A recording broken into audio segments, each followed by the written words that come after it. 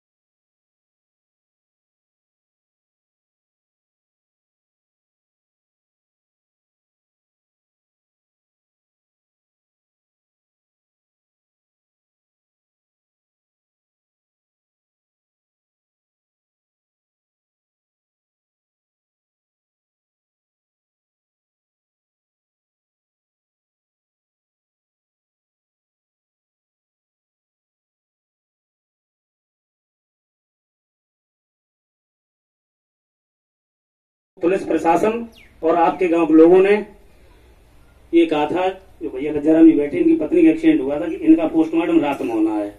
लोगों ने जाम लगा दिया था। हमने अपने से छू- हाथ न लो। कानून हाथ लेने से नुकसान होगा, फ़ायदा नहीं होगा। ऐसा एक शासन का आदेश आया है। उत्तर प्रदेश के जितने भी डीएम और एसपी हैं, उनके लिए एक व्हाट्सएप मैसेज और एक फैक्स आया है। कि कहीं अगर एक्सीडेंट में जाम लगता है या कहीं तनावपूर्वक जाम लगता है तो 15 से 20 मिनट तक मतलब जो है शासन प्रशासन आपकी मदद करेगा। इसके तत्काल बाद शासन के दबाव से मुकदमा लिखा दिया जाएगा। और वही हाल यहाँ हुआ।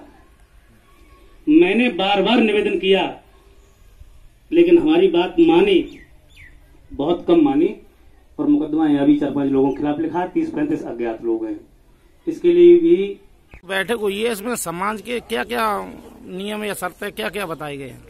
समाज में फैली हुई कुरीतियों को पूर्ण रूप से उनका दमन किया जाए और जो हमारे समाज के पढ़ने वाले छात्र हैं उनको रोज़गार वर्ग शिक्षा से जोड़ा जाए। उद्देश्य विहीन शिक्षा किसी काम की नहीं है इस पर प्रकाश डाला गया। राजनीतिक संबंध में भी बैठक राजनैतिक संबंध में चर्चा हुई है। कि किसी भी पार्टी का हमारा समाज पिछलग्गू नहीं है।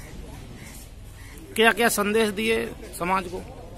समाज के लिए ये कहा गया है कि जिस तरीके से हम लोग बढ़ चढ़ के भागीदारी करते हैं वोट देने में उसी तरीके से अपना हक मांगने से नहीं छीनने की ताकत रखता है लोधी समाज। अगली बैठक कहाँ है? अगली बैठक जो है अगले रविवार को लक्ष्मीपुर में है।